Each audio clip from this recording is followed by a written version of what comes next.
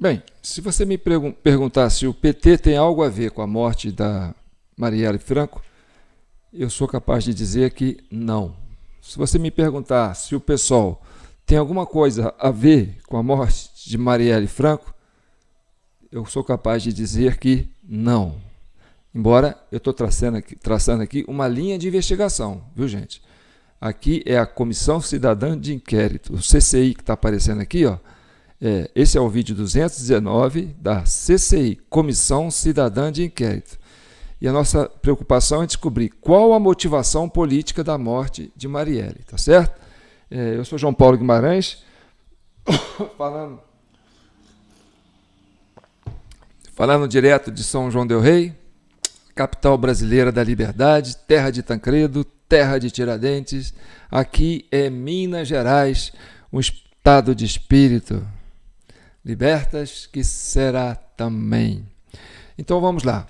É... Ô João, você falou que o PT não tem nada a ver com a morte da Marielle. Provavelmente não. Sabe por quê? Porque a morte da Marielle aconteceu no ano de 2018. E quando aconteceu a morte da Marielle, é, quem estava governando era o governo Temer. O governo federal era o governo Temer, tá certo?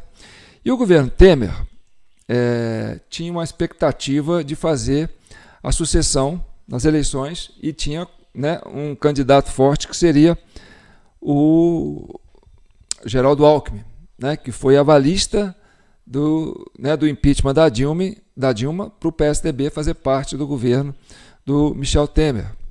Tanto que o Alexandre de Moraes, que era secretário de Segurança do Michel Temer, foi ser ministro da Justiça, que, que era secretário de Segurança no estado de São Paulo do Geraldo Alckmin, foi ser ministro da Justiça do, do governo Michel Temer. Assim como outros integrantes ligados ao PSDB comporam né, o staff político do governo Temer. Então, a morte da Marielle aconteceu no ano de 2018. Né? E, o que estava acontecendo em 2018? Aconteceu que o governo Temer é, e a expectativa né, de, de caçar o mandato do. quer dizer, caçar os direitos políticos do candidato Lula, que era evidente, né? E eu vou mostrar aqui é, um recorte que eu fiz, que é muito amplo, da CCJ, sobre a questão da né, do requerimento de, de votação sobre né, a prisão dos irmãos é, Brazão, tá certo? Então, porque os irmãos Brazão são deputados, e aí né, é, o Alexandre de Moraes decretou a prisão desses parlamentares, mas isso tem que passar pela Casa Legislativa, né, pela Casa do Congresso, pelo, pela Câmara dos Deputados. No, nos casos eh, anteriores que houve esse episódio, é, as coisas voltaram quase a toque de caixa, né? Não, foram, não é o primeiro deputado que está sendo caçado nessa legislação, não. Então, é, e sendo preso, né? É, uma das coisas que eu quero chamar a atenção é que o que aconteceu? Foi pedido a prisão desse, desse pessoal e o, né, o Alexandre mandou para o para o Congresso, né, para a Câmara dos Deputados, para votação, se o plenário concorda, tá certo? Aconteceu que o presidente da Câmara reuniu com o ministro da Justiça, é, Lewandowski, Lewandowski né, em, em separado, eles ficaram é, no reservado conversando meia hora antes, é, quase mais, mais de uma hora, tá certo? E o que que o Lewandowski, eh, o que que o, o, o Arthur Lira decidiu? Falou, não, nós não, não vamos botar para votar em plenário. Vou mandar isso para onde? Para a Comissão de Constituição e Justiça. E aí, quem comanda a Constituição, a CCJ hoje? O PL, que é o partido da oposição. Certo? Isso caiu no, lá na CCJ. Aí, o pessoal da base do governo, principalmente PT, PSOL, presta atenção, porque o PSOL é que era o partido da Marielle, ficaram indignados com essa é, morosidade né, da casa em não votar de uma vez, sabe? Não, tem que prender, tem que votar de uma vez, esperamos seis meses para votar de uma vez. Tá. Isso foi parar na CCJ. Então nós vamos trazer para você o embate que aconteceu durante a CCJ. Eu sei que é uma reunião cansativa, né? poucas pessoas têm, têm, têm paciência para acompanhar. Então, uma reunião de mais de duas horas, eu consegui fazer com que ela ficasse em torno de 25 minutos. Sabe? Eu sintetizei, para ficar atrativo para você, né? para você acompanhar os fatos. Outra coisa interessante que eu quero chamar a atenção é o seguinte: por que, que o caso da Marielle caiu na, na relatoria de Alexandre de Moraes? não é? Alexandre de Moraes já está com aquele inquérito das fake news que é absurdo, já está com a, né, com essas questões do 8 de janeiro, que é outro absurdo, né? Que é coisa pra caramba. Ele acabou de soltar, né, é, é, botar com tornozeleira eletrônica aí três coronéis da PM. Isso foi agora, recente, né? Então, por que cair na mão? Esse negócio não é sorteio, gente. Por que, que caiu na mão dele? E aí nós temos que prestar atenção nisso, né? Porque a prisão dos, do, do, dos irmãos Brazão caiu na mão do ministro Alexandre de Moraes. Bem, diferentemente de outras, né, outras inserções de, de Alexandre de Moraes em parlamentares de direita, era praxe fazer busca e apreensão nos gabinetes desses parlamentares. Até por coisa assim, insignificante. Não, busca e apreensão. Né? Prendeu? Busca e apreensão. E no caso desses irmãos é, do, do, do, Chiquinho Brazão, não houve busca e apreensão no gabinete do deputado lá na Câmara dos Deputados. Por que será que dessa vez houve um tratamento diferente? Será que podia achar alguma coisa lá que podia ser comprometedor? Né? Então, é... outra coisa que eu quero chamar a atenção para vocês. É... O Chiquinho Brazão e o, o Domingos Brazão, os irmãos Brazãos, são né, é, é, é, da base do governo Lula. E o Chiquinho, dentro do, do, do partido União Brasil, União Brasil tinha três, tem ainda, não sei, três ministérios no governo Lula. Tá certo? Então, é, se você for para parar para pensar, bem, ele está mais ligado ao pessoal do Bolsonaro, mais da direita, ou está ligado mais ao pessoal do governo Lula? Está mais ligado ao pessoal do governo Lula, tá certo? Por quê? Porque é base de apoio do governo Lula, tá? Tem essa questão também, né? Então vamos, é, outra, outra coisa que eu acho que eu quero chamar a atenção, tá certo? Vamos lá para 2017. É, 2017 aconteceu isso aqui, ó. Pesquisa para presidente 2018, Lula lidera, sem ele, Bolsonaro dispara na frente. Aí, pesquisa divulgada nesta quarta-feira, 16, isso foi 16 de agosto de 2017, revela que o ex-presidente Lula cresceu 6 pontos percentuais entre julho e agosto, passando de 26% para 32%, não obstante a condenação que sofreu por parte do juiz Sérgio Moro, Bem, o juiz Sérgio Moro tinha condenado o Lula. O Lula estava né, é, impedido, já estava naquela fase de prisão e tal. Mesmo assim, ele liderava as pesquisas, apontava como né, uma referência. Aí vem, a pesquisa também mostra, mostra o vácuo deixado por políticos governistas. Governistas que eu digo do governo Michel Temer. Né? E aí inclui o pessoal do PSDB, Geraldo Alckmin, né? É, e outros mais né? Centrão. É, praticamente não há candidatos ligados a Temer na disputa. Então, o que, que aconteceu é que o espectro político em 2017 começou a ter uma polarização diferenciada. O pessoal que era PSDB e que votava no PSDB contra o PT, o pessoal do PSDB, peraí, pessoal, pessoal direita, né? a turma do PSDB, que votava contra o PT, passou a olhar para Bolsonaro. Falou: não, vamos votar no Bolsonaro dessa vez. Não queremos ninguém do PSDB, ninguém do governo Temer. E aí ficou a polarização. Um lado, Bolsonaro, do outro lado, o PT. Bem, a Lava Jato, que aconteceu aquela, aquele desastre todo, né, com, com empresas, com estatais, com prisão de parlamentares, cassação da Dilma, prisão do Lula, aquela coisa toda. Isso tudo era para de uma certa forma, beneficiar os que assumiram após Dilma, que era o governo Temer com apoio do PSDB e Centrão. Tá. Né? Aí vem aquela coisa de estancar a sangria, agora vão parar de perseguir o pessoal, né? esvaziar a Lava Jato, tudo bem. E aí, o que acontece? Bem, se o Lula estava preso, a direita pensou assim, quer dizer, o PSDB pensou assim, bem, agora nós vamos ganhar do PT. Só que aconteceu o seguinte, o pessoal da direita falou, não, não quero o pessoal do PSDB mais, eu vou com o Bolsonaro. A turma do PT falou, pô, nós temos né, o Haddad, nós temos o Ciro, o PSDB não tem ninguém, né? tem o Alckmin. O Alckmin não está fazendo frente ao candidato do Bolsonaro, quer dizer, o Bolsonaro está entrando no eleitorado do Alckmin.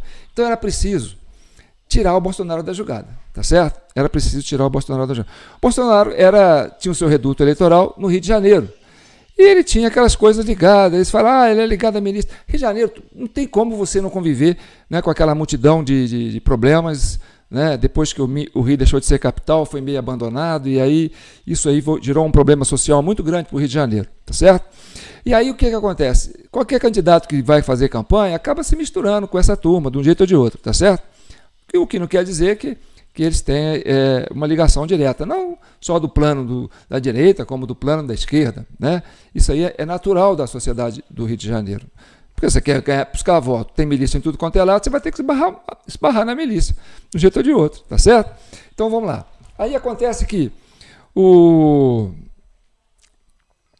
o pessoal do PSDB, que queria o Alckmin, né, e o, o, o Alexandre de Moraes lá no Ministério da Justiça, aquela coisa toda, falou assim: bem, a gente tem que tirar o Bolsonaro, porque o Bolsonaro está entrando no nosso eleitorado. Então, a preocupação com o Bolsonaro em 2018, 2017, 2018, a, o crescimento do, do Bolsonaro não era problema para o PT. Entendeu? Era problema para o PSDB, era problema para o Alckmin, era problema para o ministro da Justiça, Alexandre de Moraes, né, que, que era o protagonista ali né, da parte jurídica, que tinha a Polícia Federal envolvida toda nessa operação do Lava Jato e tal. E aí o que, que eles. O que, que, o que, que aparentemente subentende que tem acontecido? Bem, o governo do Temer fez uma intervenção no estado do Rio de Janeiro, reduto do eleitorado de Bolsonaro. Tá certo? Vamos estudar isso aí. Ó.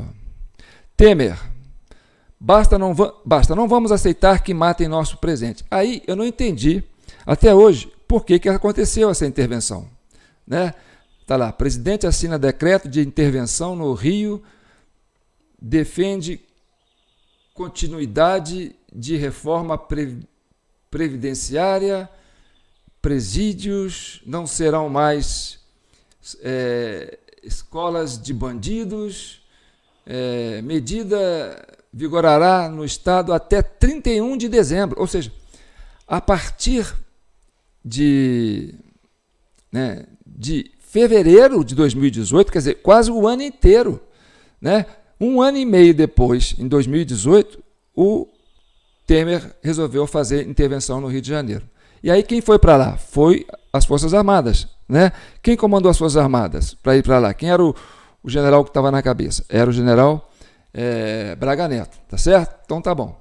Isso foi até o fim das eleições, tá certo? Quer dizer, até o fim de 2018. Ou seja, isso aconteceu durante o período da eleição, tá certo?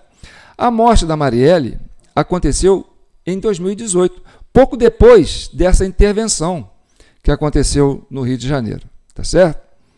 E olha, se o Rio de Janeiro tinha a Secretaria de Segurança Pública, que estava ao comando do, do governo do Temer, e aí você inclui PSDB e PMDB junto, mais Centrão, né? não tinha participação do PT, né? porque isso aconteceu quando o Alckmin ainda pensava em ganhar as eleições. Né? E o PT pensava em resolver como é que seria para fazer para cobrir o buraco do, do, do, Lula. Então, o problema da, da, da, Michel, da, da, da Marielle era do governo Temer. Daí essa intervenção. E aí acontece esse fato aqui, ó durante a intervenção, tá certo? Que está gerando uma polêmica enorme sobre a questão dos generais. Vamos olhar isso aqui. Esse general, que foi citado no caso de Marielle, deve ser nomeado no o número 2 do Exército. Bem, Se esse general está ascendendo a cargo, a posto, a importância no governo do Lula com Michel Temer, tá certo?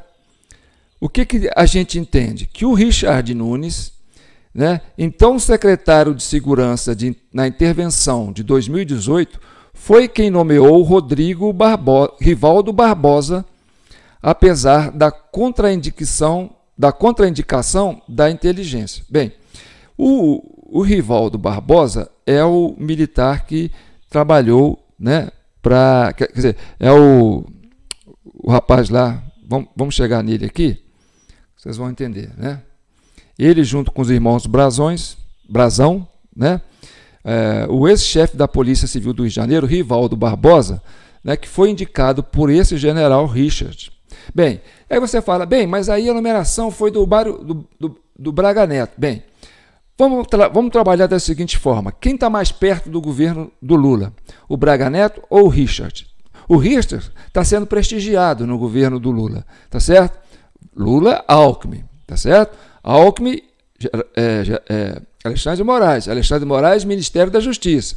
Ministério da Justiça, intervenção no Rio, tá certo? Então, à medida que o, esse Richard sobe no, no, no conceito da, do, do, do, do governo Lula, o Braga Neto cai no conceito, ou seja, perdeu até a condição de ser elegível.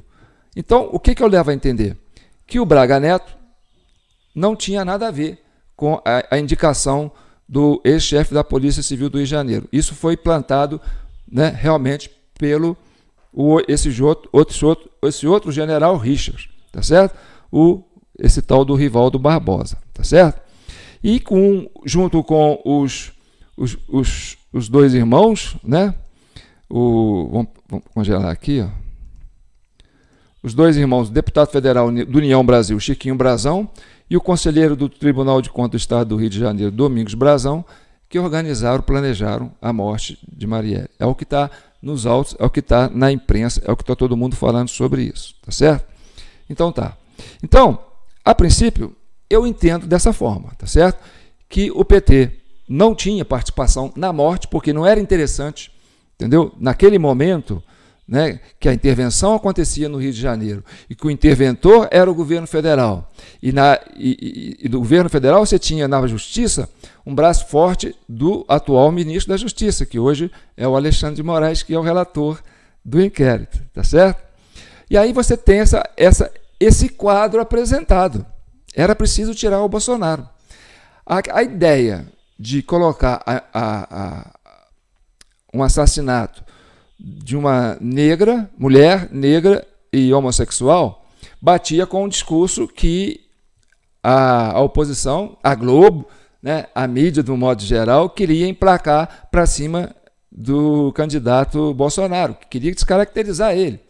Porque pegaram frases antigas dele, Bolsonaro é isso, é aquilo, é papapá, é homofóbico, é, é racista, é misógino e tal.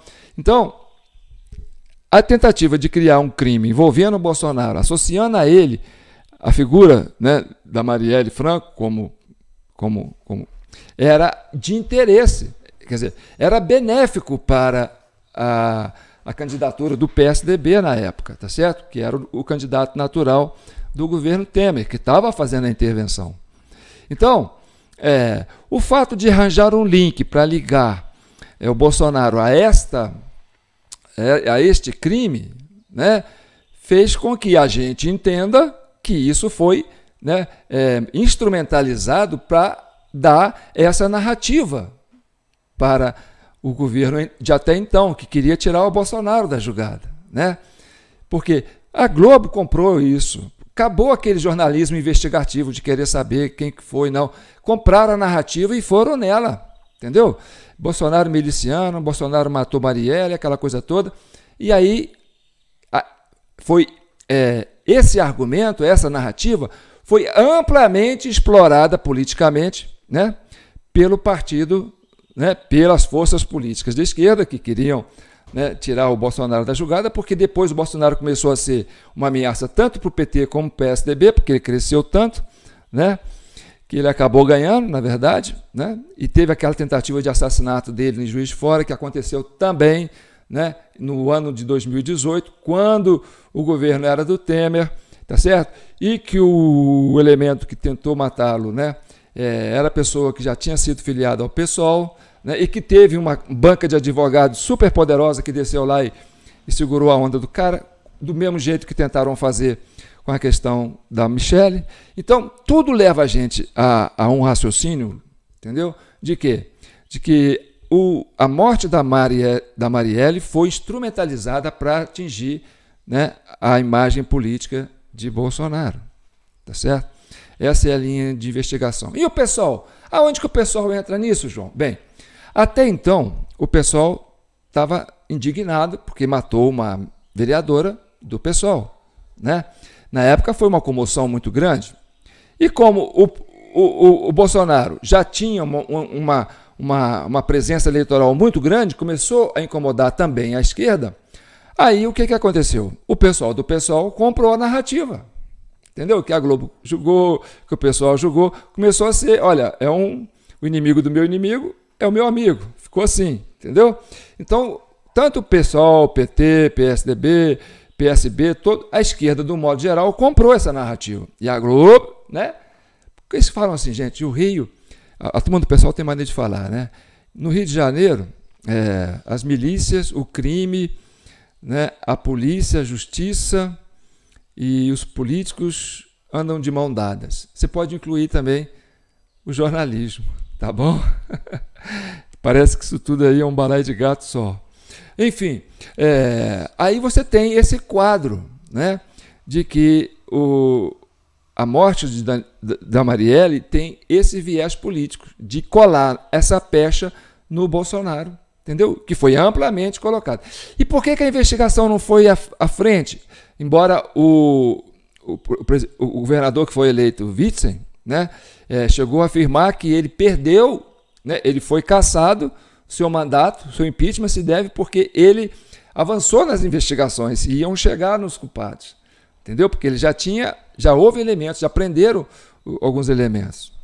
Inclusive aquela, aquela parte né, que ele vai lá na, na no, no, que acontece o lance do Lessa, que é do condomínio do Bolsonaro, né, que o elemento vai lá para chamar de noite, vai lá tocar o interfone lá para chamar o, o Lessa, mas aperta o, negócio do Lessa e fala: O Jair está aí?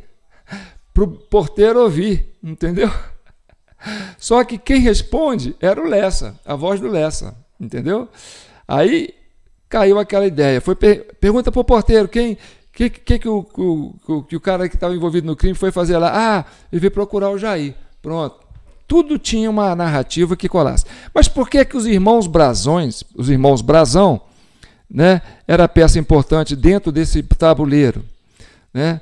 É, primeiro que os irmãos Brazão né, era, eram, era, já eram, tinha uma ligação com essa coisa da milícia, né? de matador de aluguel, essa coisa toda de exterminar pessoal, era a fama que eles tinham, tá certo? Se eles tinham uma boa política, eu não sei, se eles faziam um bom trabalho com a comunidade, eu não sei, porque isso aí é relativo, né, gente? O cara pode ser é, milicioso, mas de repente ele faz caridade de alguma forma, alguém acaba se beneficiando com a ação política dele. Tá? Tanto que eu acho até bom que não se condene ele de uma vez, não passe o trator por cima dele, porque é, apesar de ser né, um, um, um, um, deputado que tem uma ligação de esquerda ou que seja de direita, qualquer um tem direito à legítima defesa, entendeu? Ampla e irrestrita. Então, eu defendo a, a posição da Comissão de Constituição e Justiça, que não quis apressar, quis estudar tudo direitinho para ver até onde existe né, verdade nisso tudo. Não vai passar o trator assim, igual eles faziam antes com o pessoal que era de direita, não. E aí o que, que você tem? Você tem esse quadro apresentado, entendeu? E aí nós vamos chegar né, na questão por que, que os irmãos Brasãos foram chamados. Bem, os irmãos Brasão não têm uma ligação de, de, de rixa, assim, histórico de rixa com a Marielle, tá certo? Então, eles não eram apresentados como pessoas suspeitas. Tá certo?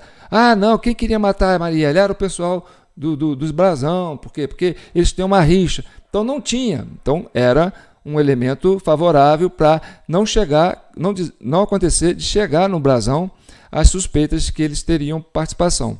Até que os, o, as pessoas que foram, crime, é, que foram presas, que participaram, fizeram delação e apontaram o brasão, tá certo? Agora resta saber quem né, que foi buscar o brasão, que não tinha motivação política para esse crime, a produzir o crime.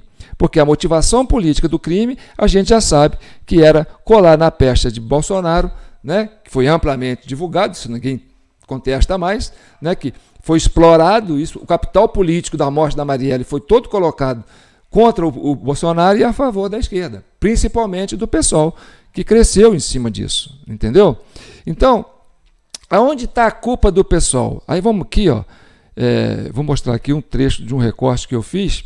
Ó, segundo a Polícia Federal, Richard Nunes bancou a, nomeação, a nomeação de Rivaldo, que é o delegado que foi responsável particular esse crime todo, né, junto com os Brasão, mesmo diante de um parecer da área de inteligência da pasta que não recomendava a efetivação.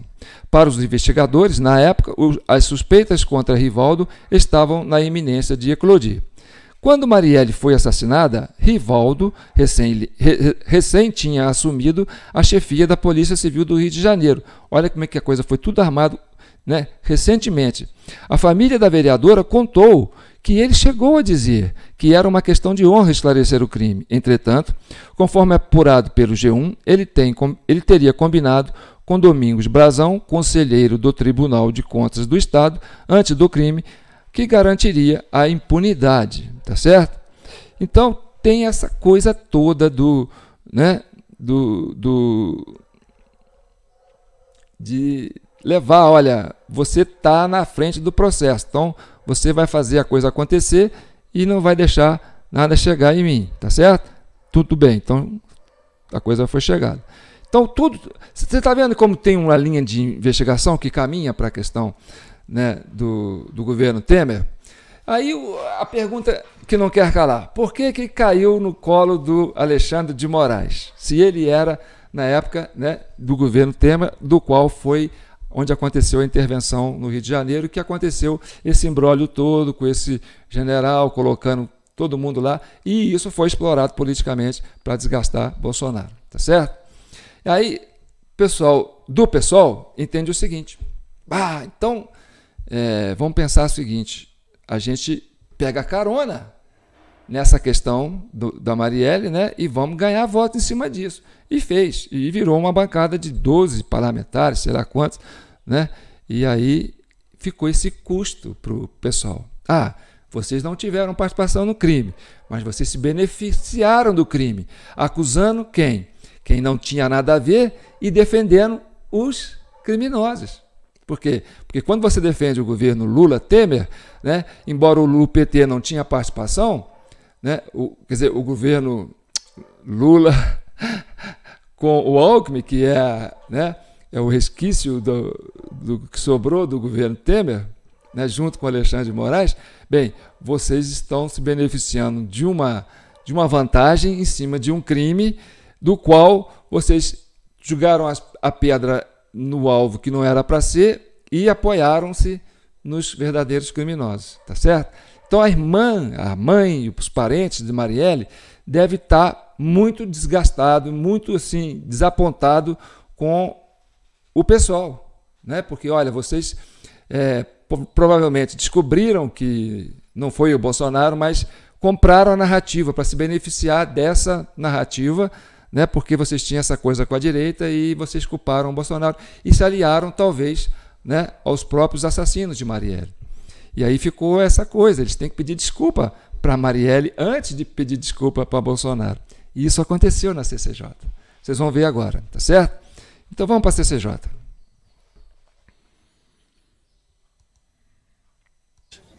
Quem quiser pedir, que o peça.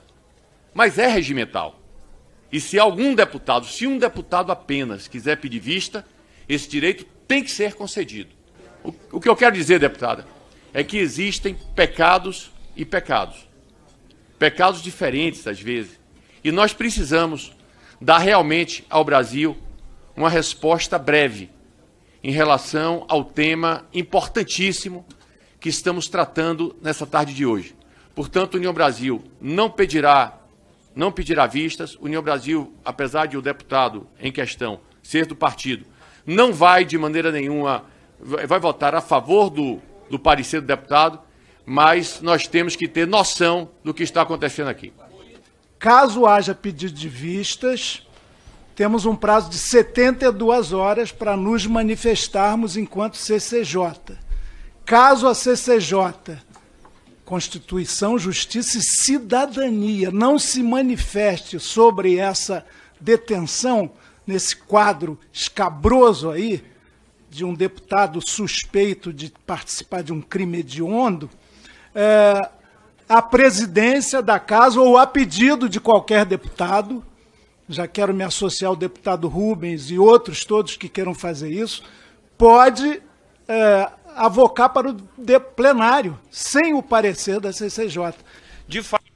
Bem, esse aí foi a tônica que aconteceu na CCJ. Vocês vão acompanhar e vão entender a partir daqui né, o que eu vou dizer. Bem, o que, que o pessoal do PT e do pessoal quer? Quer que o negócio seja tocado a toque de, a toque de caixa, porque são 400 páginas mais 40 páginas, 400 né, páginas da Polícia Federal, mais 40 páginas do, do Alexandre de Moraes, isso tudo está no inquérito e pum, caiu na CCJ. E aí o pessoal fala, não, vamos votar isso rápido. O pessoal da CCJ falou, epa, muitos falaram assim, sou advogado, quero conhecer, eu quero estudar isso aí. Mas a turma do PT e a turma do pessoal, né, está preocupado em passar o negócio assim, ó, toque de caixa, pum, para quê?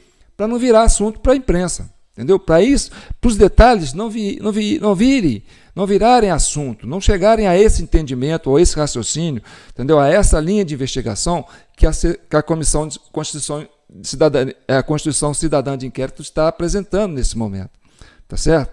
Então você vai ver isso. A tônica desse debate vai ser essa, entendeu? Bem, olha, eu sei que a Marielle morreu em 2018. Era intervenção federal. Quem interviu? O governo federal. Quem estava lá é, como secretário de Segurança Pública do, de, de Brasília, ou, do Rio de Janeiro, era ligado ao governo federal. O esquema aconteceu ali envolvendo né, a Secretaria de Segurança Pública do Rio com esses deputados que estão ligados à base do governo Lula, tá certo? Então, o que, que era importante? Não, isso não pode virar uma bola de neve, tá certo?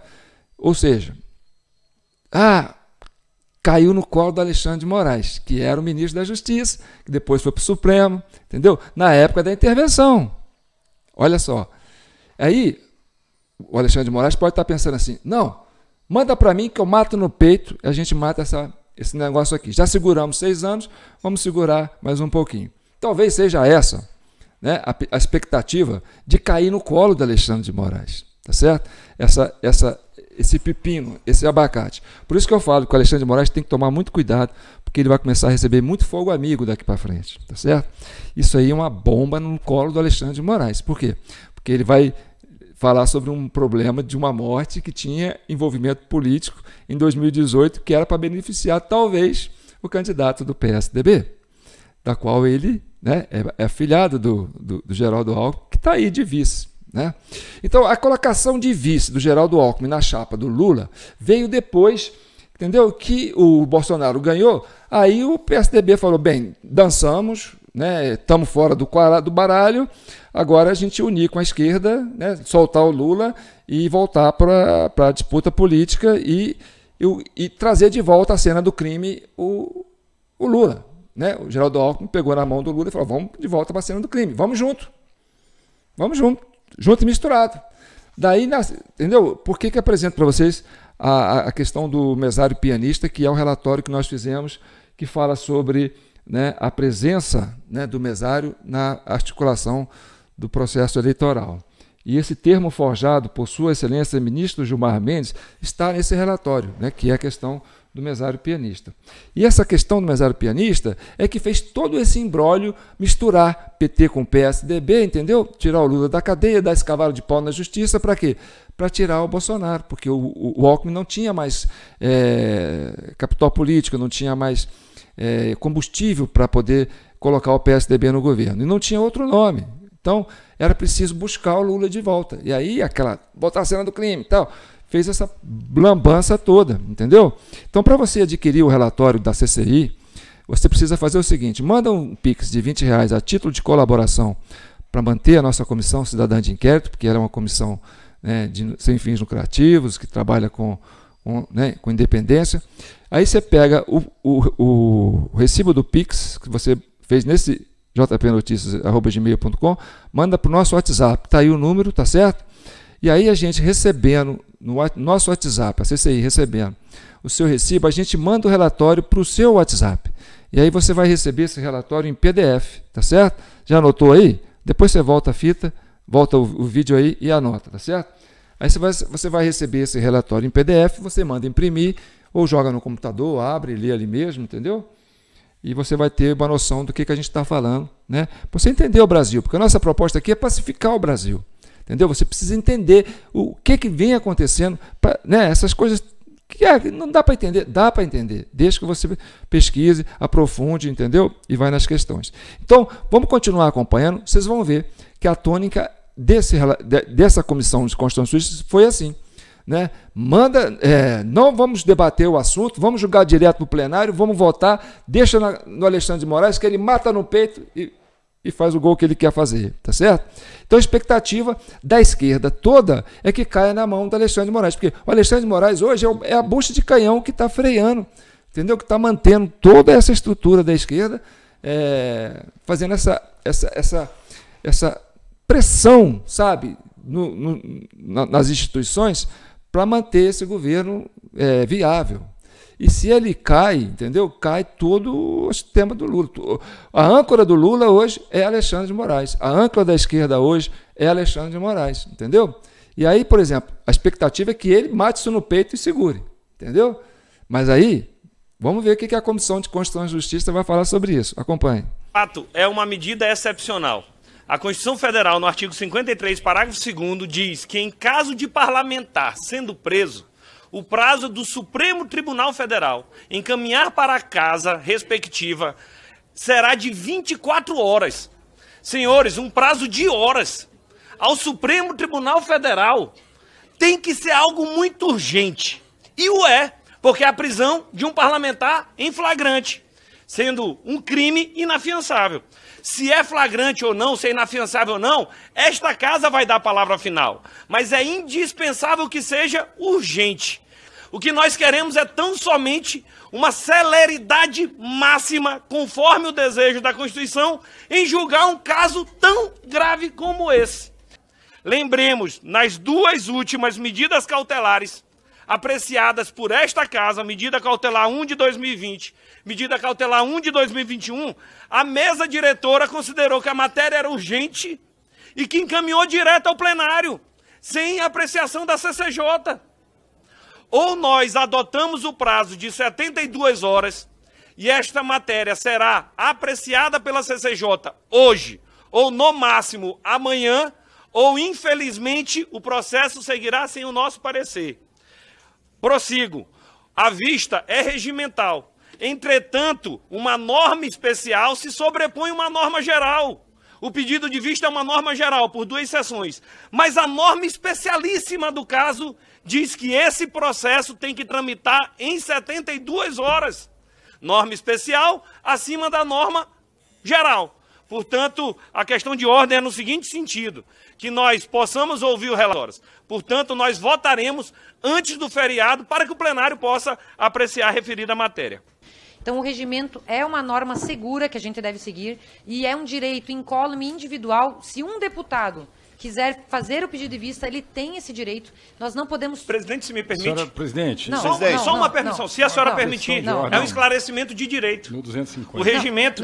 No artigo 57, inciso deputado, 16, deputado. se a senhora me permite, diz, ao membro deputado, da comissão que pedir nós vista... Nós tentamos fazer acordo entre as não, bancadas só... para, para impedir, não impedir, mas para superar essa questão regimental da vista, e vários deputados disseram que não abrem mão desse direito, e eu não posso tolher esse direito dos deputados. Então, se um deputado apenas quiser, se um deputado quiser pedir vista, não há o que fazermos para a se aprofundar na matéria e nós vamos ter que conceder.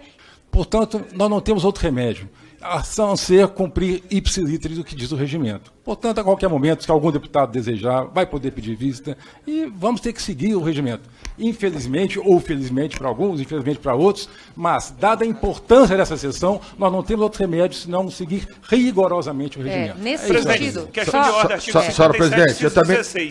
O relatório final da Polícia Federal tem 479 páginas. A decisão do Alexandre de Moraes tem 41 páginas. Esses dois documentos importantíssimos, eles não estão no sistema para consulta dos deputados dessa comissão. Fora isso, o relatório do deputado do Darcy de Matos, o qual eu elogio pelo trabalho extremamente rápido, foi protocolado às 13h48 horas. Eu, nesse momento, eu estava fazendo a leitura e, para minha surpresa, ele está desatualizado. Porque outro foi protocolado. E outro foi protocolado novamente. Portanto, ele é das 15 horas. E, e essa fala desse deputado é muito importante. Ele diz 480 páginas, será 70 páginas? O outro tem 41 páginas. Isso não está no sistema. Como é que a gente vai votar? Quer dizer, olha só, estão querendo tirar dos deputados a prerrogativa de fazer uma leitura do problema que está apresentado. Aí, a pressa de julgar direto no plenário, volta, cai na mão do Alexandre de Moraes para ele matar no peito. E aí a turma do. Alguns lá falaram: não, calma aí, ué, eu quero conhecer o que está nesse, nesse, nesse, nesse processo. Vai vendo. E eu fico pasmo, a pressa, o afogadilho de decidir algo tão importante que. Seis anos. Deputada Sam... Presidente, manda esse povo calar a boca, senão a reunião não vai, né? Deputada Cala a boca, você, senhor. Presidente. São seis anos esperando por justiça não vai e calar vocês a boca passando não. pano pra. Deputado tem direito de falar, deputado. A, a deputada Sâmia está certa. A deputada Sâmia está certa. Seis anos... A deputada... A, de... a deputada Sami está certa. Foram seis anos e nós precisamos decidir em menos de um minuto. E esse é o problema. O deputado está preso.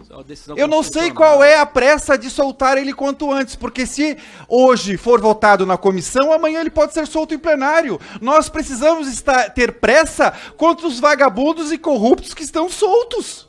O deputado está preso. Qual é a pressa? Qual é a pressa? Deputado. Nós precisamos dormir com a cabeça no travesseiro para ter, ter, ter certeza de, de fazer a coisa certa. Eu não concordo, eu não concordo com a ilação. Eu não concordo. O deputado Gilson está falando em que condição? Só para saber. Eu estou pedindo vista. Eu estou pedindo vista. Ah, presidente. Está pedindo vista, presidente. Não, não tem contradita da vista, deputado. Então, para concluir, deputado. presidente. Eu não concordo com a ilação de que o pedido de vista é para protegê-lo, porque dessa mesma lógica, eu poderia dizer que a votação é para protegê-lo. Não, não é. O que eu estou dizendo, inclusive, é, presidente, eu concordo que ele seja votado amanhã atendendo a proposta do deputado Rubens. Questão o que eu estou ordem, dizendo é presidente. é 20 pudessem ler os documentos, estarem convictos daquilo que está é, não está no sistema. Questão, questão de ordem, é só isso. E aí eu Pela fundamento ordem, o meu pedido de vista entendendo a preocupação do caso, concordando com o deputado Rubens, concordando com a deputada Sâmia, para que a gente demorou para fazer essa deputado. decisão aqui. Obrigado. É, então, tendo em vista o pedido de vista, deputado Darcy, o relator. Relator, sim. Tá. Tá. Não, artigo 251 já foi superado, deputada. Hã? Qual? Só vamos ouvir o Senhora presidente, não, com, com relação à argumentação do deputado Gil, só quero... Vista conjunta, senhora eu, eu presidente. só quero esclarecer... Senhora presidente, vista conjunta. Eu só quero esclarecer, senhora presidente... Vou justificar. Que o relatório foi tá protocolado duas vezes, novamente por erro formal, aonde é, estava segunda turma, era a primeira turma, e onde estava prisão, é, é, seria o correto, nós corrigimos, prisão preventiva, somente essas correções. Senhora presidente. Inciso terceiro, artigo 251 do Duarte. Roberto Duarte. Obrigado, senhora presidente. Gostaria de requerer aqui. Tá, vista conjunta, deputado Fausto, deputado Roberto. Conjunta, mas eu quero justificar, presidente. Por favor. Tá. É, sabemos que se trata. Sabemos que se trata de um crime hediondo, de homicídio, que nós repudiamos, assim como assim como repudiamos todos os crimes. Agora, veja bem, O suposto acusado encontra-se preso e de lá ele não sairá enquanto não houver uma decisão desta casa ou do próprio Supremo Tribunal Federal. Não entendo o porquê do afogadilho de, nesse primeiro momento, querer se justificar uma votação imediata que atrasar a votação da prisão do Chiquinho e, ao mesmo tempo, atrasar a votação da cassação dele significa passar pano para miliciano e dar salvo-conduto para que esses que não existem sem os tentáculos do Estado sigam tentando se defender. Infelizmente, infelizmente, tem muita gente aqui que passou pano para as milícias e não só passou pano. As milícias só existem porque tem tentáculos no legislativo, Presidente. no executivo e no judiciário. Presidente. O caso do assassinato da Marielle tinha conivência do chefe da Polícia Civil que ia com cinismo abraçar a família. E o que dizer pra dona Marinette? Que a dona Marinette quer afogadilha, a dona Marinette quer justiça. Vocês foram contra a federalização desse caso. Enquanto uma vereadora foi assassinada e nada vai repor a vida da Marielle, tem deputado aqui dizendo que a gente tem pressa. Como assim? Estão roendo até Brasil os ossos da Marielle. tem pressa. O foro só haverá de prevalecer quando o fato tiver sido praticado no exercício e em razão do mandato. Ora, se não tem foro no Supremo, meus eminentes parlamentares, se não tem foro no Supremo, como o Supremo pode prestar jurisdição num caso em que não tem competência? Isso atenta, afronta contra o princípio da legalidade. Ninguém poderá ser preso senão em flagrante delito ou por ordem escrita e fundamentada da autoridade competente. Se não há competência, a prisão é ilegal também por esse motivo. Ou seja, ela é ilegal porque é preventiva fora dos balizamentos da Constituição, ela é ilegal porque não há competência do Supremo Tribunal Federal. Para concluir, não é, presidente? É, é, preciso dizer uma vez mais que a defesa é, está limitada, está restrita é, ao tema da legalidade da prisão. Essa garantia constitucional conferida ao parlamento haverá de ser preservada, não é? Você vê que é uma coisa simples demais para tomar uma dimensão tão louca de que eu, como vereador, com uma relação muito boa com a vereadora, é só entrar na Câmara Municipal, é só pegar, ver é, é, aonde tiver as imagens ainda, que vai identificar o que eu acabei de falar. A gente tinha um ótimo relacionamento, só tivemos uma vez um debate aonde ela defendia a área de especial interesse, que eu também defendia. Inclusive, defendemos depois disso, Rio das Pedras, que o prefeito, é, que foi senador, o Crivella, ele queria construir prédios.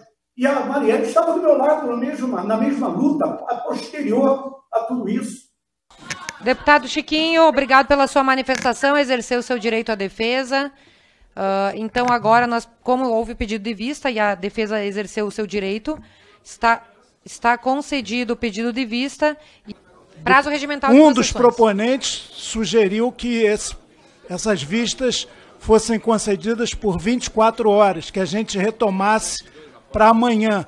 Deputado Vossa Excelência Chico, acatou isso? O prazo é regimental de duas sessões e assim será concedido. Como não houve acordo. Eu gostaria, como advogado, poder ler a denúncia, os autos de infração e a defesa técnica do que está embasada a prisão preventiva do deputado. Se eu tivesse algumas horas, com certeza eu daria um parecer. Mas é preciso que essa comissão, que o Poder Legislativo esteja à altura do sentimento e da indignação nacional.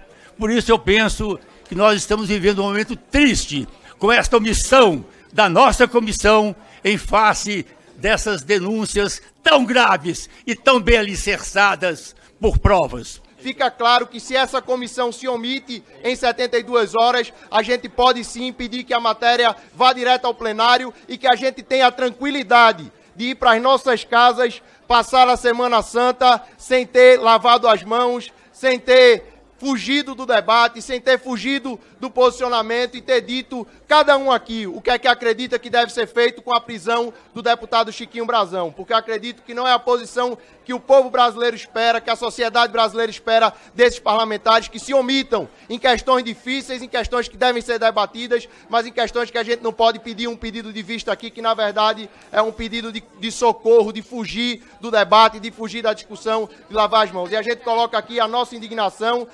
Presidente, esse é um crime que já está há mais de um ano sob a responsabilidade da Polícia Federal, que revisou todas as linhas investigativas e ainda bem conseguiu um feito importantíssimo, que foi demonstrar a colaboração ativas de pessoas de dentro do Estado, da Polícia Civil, conselheiros do Tribunal de Contas da União e deputados federais no planejamento e execução desse crime. E os documentos que embasaram, senhora presidenta, essa prisão não é verdade que não estavam disponíveis. Eles ganharam já ampla publicidade pelo próprio Supremo não precisa nem pesquisar no Google, está na página principal do site do STF. Inclusive estava no sistema dessa casa já desde ontem. E a prisão do deputado acusado de planejar a execução de Marielle Chiquinho Brazão, ela veio também corroborada com diversos elementos e eu queria trazê-los aqui. Esses elementos incluem a atuação histórica da família Brazão na cidade do Rio de Janeiro com as milícias. Inclui ligação com diferentes grupos criminosos, inclui o controle territorial de diferentes áreas da cidade do Rio. E, senhora presidenta, inclui também participação na obstrução da justiça. E essa obstrução se fez durante o mandato de deputado e não enquanto vereador, portanto, obviamente, a competência do Supremo, da Justiça Federal in investigar e dar os rumos desse caso. A gente está falando de obstrução com inclusão de testemunhas falsas no processo. A gente está falando de queima de arquivo. Foram pelo menos cinco pessoas mortas que eram fundamentais para a obtenção de provas, para que nós não ficássemos seis anos esperando uma resposta do Estado brasileiro diante de um crime que o próprio Estado cometeu. A gente está falando de ameaça de fuga. Não há fartas provas para uma prisão preventiva? Que absurdo é esse? Não é inconstitucional, senhor presidente. Foi comprovado que os mandantes desse crime estavam obstruindo a aplicação da lei e as investigações. Inclusive o chefe da polícia, traidor, que abraçou a família, mas, lamentavelmente, indicado por Braga Neto, ex-ministro de Bolsonaro, estava lá, está ex-ministro de Bolsonaro estava lá para atrapalhar as investigações, senhora presidenta. Foram assassinadas cinco pessoas. Lucas do Prado Nascimento, ele foi morto um mês depois da morte de Marielle. E ele foi a pessoa que clonou o carro onde os assassinos estavam para matar Marielle. Foi assassinado de Milson da Silva de Oliveira, conhecido como Macalé, com relações próximas com a família Brazão. Foi morto a tiros. E ele foi apontado por Écio Queiroz como intermediário na contratação de Rony Lessa. O outro assassinado, como queima de arquivo, foi Edilson Barbosa dos Santos, o Orelha, mecânico que desmontou o carro. O outro assassinado foi Hélio de Paulo Ferreira, conhecido como Senhor das Armas, que também tinha relação com o caso. Senhores, o artigo 312 é claro. A gente, do Código de Processo Penal, a prisão preventiva ela pode e deve ser decretada como garantia da ordem pública, por conveniência da instrução, da instrução criminal ou para assegurar a aplicação da lei penal quando houver prova de existência do crime e indícios suficientes da autoria. Hoje é um dia triste para a democracia brasileira. Seis anos é tempo demais. No momento em que a justiça finalmente aponta para a resolução desse crime, a vergonha está acontecendo nesse parlamento que decide não se posicionar sobre um dos maiores crimes da democracia brasileira desde do pós-ditadura. É uma vergonha que esse parlamento adie a decisão de manter a prisão daquele que matou Marielle Anderson com tantos tiros que nós, amigos, familiares, nem sequer pudemos olhar e se despedir de Marielle no caixão porque teve que ser de caixão fechado. Bem, fazer só uma pausa na fala dela, né, porque ela está sendo muito incisiva. Quando ela acusa o, o, Mário ne o Braga Neto de ser o mandante, o, quer dizer, o cara que, que, que, que fez a, a, a, o boicote lá para não chegar à investigação, aí é que eu acho que, a Maria, que, que o pessoal está pisando na bola, entendeu? Por quê? Porque o cara que realmente trouxe o, o, delegado lá que fez a, as merda toda, entendeu? É o general Richard. Ele é que fez, que está sendo apontado como o cara que trouxe. Então, é, o general Richard está subindo no posto do governo Lula. É o segundo do Exército. Já o, Mário, o, o Braga Neto, ele está lá embaixo, entendeu? Ou seja, aí você entende que a ligação né, do esquema da intervenção federal do Rio de Janeiro não está associado diretamente aos interesses políticos do Bolsonaro, mas sim aos interesses políticos do governo Lula, graças à, à parceria com Alckmin e Alexandre de Moraes, que foram os, os, os, mentores da intervenção no Rio de Janeiro naquela época. Mas tirando isso, entendeu? É, é importante o, o, desabafo dela. E ela vai pedir desculpa para quem? Para para a família da Marielle, entendeu? Por quê? Porque ela agora ela tem consciência. Entendeu? No fundo ela sabe o que, que ela está falando. Olha, nós usamos o nome da sua. Né, usamos o corpo da Marielle, a, né, a memória da Marielle para se beneficiar politicamente. E a gente sabia, ou né, não, não tinha noção, que a coisa ia chegar nesse ponto. E aí a pressa dela de julgar no Supremo, por quê? Para cair no peito do Alexandre de Moraes para ele matar, entendeu? Continue vendo. É lamentável, triste dia para a democracia, triste dia para um parlamento que resolveu dizer não à democracia brasileira. Eu queria pedir desculpas. Desculpas à mãe de Marielle, Dona Marinette, ao pai de Marielle, seu Toim. Queria pedir desculpa à irmã de Marielle, Aniele. Pedir desculpa, presidenta, à Mônica, mulher de Marielle, à Luiara, filha de Marielle, à Ágata e ao Arthur, viúva de Anderson e filho de Anderson. Que citou aqui a colega, o ministro general Braga Neto, que nada tem a ver com esse caso. A indicação, como foi bem esclarecido na imprensa, foi uma indicação formal do Sistema de Segurança Pública do Rio de Janeiro, delegada a um outro general, general Nunes, que também declarou, por sua vez, uh, na imprensa, que apenas referendou um dos nomes que havia sido encaminhado pelo Sistema de Segurança Pública do Rio de Janeiro. Não há absolutamente nenhuma, nenhuma ilação possível a ser feita com relação ao general ministro Braga Neto, assim como, achei que fosse esse o pedido de desculpa, inclusive, a falta de acusação ao presidente Bolsonaro, a quem se tentou imputar este crime durante vários anos, uns após os outros, e finalmente se verifica que não há nenhuma, absolutamente nenhuma relação. Muito obrigado. A manutenção do status quo, ela ocorre em desfavor do deputado. A protelação ou a demora de duas sessões para analisar o caso é em desfavor dele, não é em seu favor. Mas, por outro lado, assegura, como bem levantado pelo deputado Fausto Pinato, pelo deputado Gilson Marques e quero crer por mais um outro colega, tempo necessário para que o parecer apenas e tão somente acerca das questões formais possa ser formulado com precisão. Sabe quando nós vamos voltar a examinar essa questão gravíssima, urgente, candente? 10 de abril. Isso é uma demissão da função da Comissão de Constituição, Justiça e Redação. Ah, precisamos examinar melhor. A investigação rola há seis anos e começou a ter efetividade depois de idas e vindas e traições e conluios e crimes no processo todo há um ano e pouco. Os documentos estão à disposição de todos nós desde domingo, não dá tempo de ler 470 páginas, e essa casa tem que autorizá-la, confirmá-la o quanto antes. Isso aí é protelação indefensável.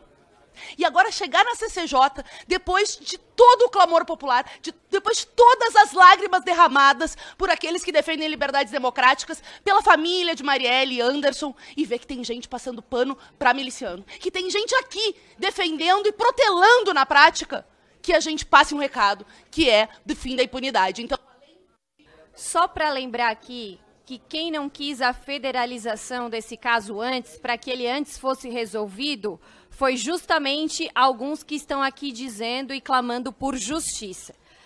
Vocês deveriam ter vergonha na cara e pedir desculpas pro Vergonha cara Bolsonaro. tem que ter você, sua fascista. Igual. Fascista é o quê? É você que é fascista. Fascista. Fascista é você. Tá? E chega de usar o corpo da Marielle pra vocês fazerem política em cima Lava dela. sua boca pra falar de Entendeu? Marielle, lava sua boca. Gente, isso aqui Vem é aqui lavar minha boca, então. Eu quero ver a cobrança ao Eduardo Paes, porque esse deputado era secretário do Eduardo Paes. Ou o PSOL vai apoiar o Eduardo Paes daqui a pouco, mais à frente. Paralelamente a isso, na doutrina militar, o termo cortina de fumaça refere-se literalmente a uma barreira visual a fim de ocultar ações e mobilizações, fazendo com que o oponente não seja capaz de prever o próximo passo.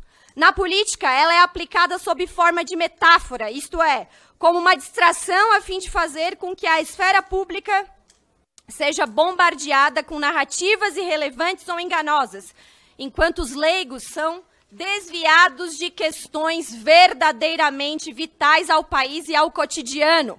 Por isso que me chamam de fascista. Os arquitetos culturais e seus militantes os conduzem para bem longe da verdade.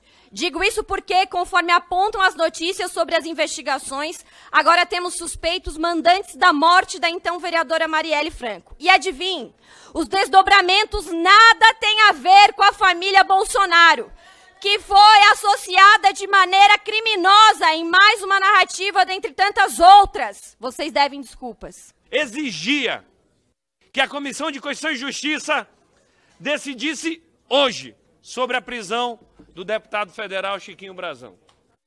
Hoje, infelizmente, esta comissão tão importante funcionou como comissão de Constituição e Injustiça. Porque não votar hoje o pedido de prisão do Chiquinho Brazão é uma injustiça. Eu sou um deputado que na questão Marielle eu fiquei num alívio quando eu vi essa matéria.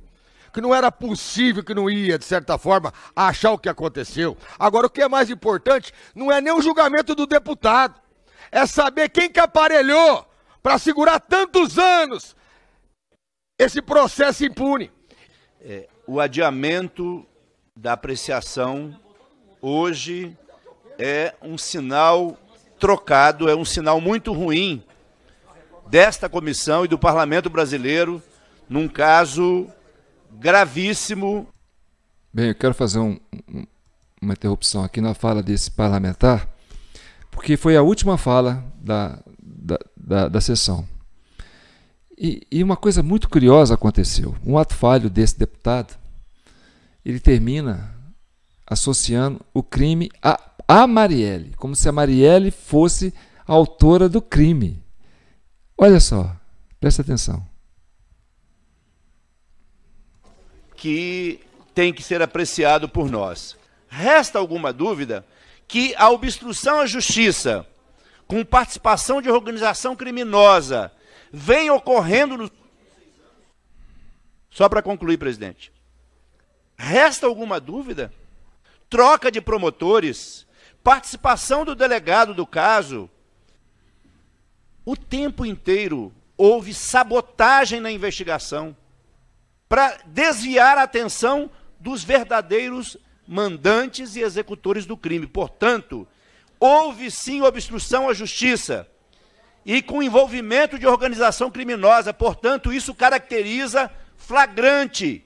É por isso que nós não podemos deixar de apreciar, presidente. Eu faço um apelo aqui, que amanhã, já que houve pedido de vista, amanhã esta comissão abra o espaço para o debate, para o contraditório e apreciemos esta matéria para que seja feita justiça contra um crime bárbaro que foi praticado pela saudosa vereadora Marielle, que continua presente na voz e na luta do povo brasileiro. Muito obrigado. Vocês viram o ato falho do deputado? Ele atribuiu que foi a Marielle que fez. Eu sei que foi um ato falho, mas isso acaba levando a gente né, naquela concepção de pensar, né? Olha, eu tenho que tirar a Marielle disso, porque eu sou a vítima. Caso o, o governo caia, eu sou a vítima. Então, a Marielle, a Marielle agora é um ponto negativo para a esquerda, é um ponto negativo para o governo. Descobrir a, a questão da Marielle é, para mim, uma coisa ruim. Por quê? Porque vai derrubar o governo. E aí, sabe, é como se misturasse a coisa na cabeça e o ato falho acontece. Repare. E executores do crime. Portanto, houve sim obstrução à justiça e com envolvimento de organização criminosa. Portanto, isso caracteriza flagrante. É por isso que nós não podemos deixar de apreciar, presidente. Eu faço um apelo aqui, que amanhã, já que houve pedido de vista, amanhã esta comissão abra o espaço para o debate, para o contraditório e apreciemos esta matéria para que seja feita justiça agora.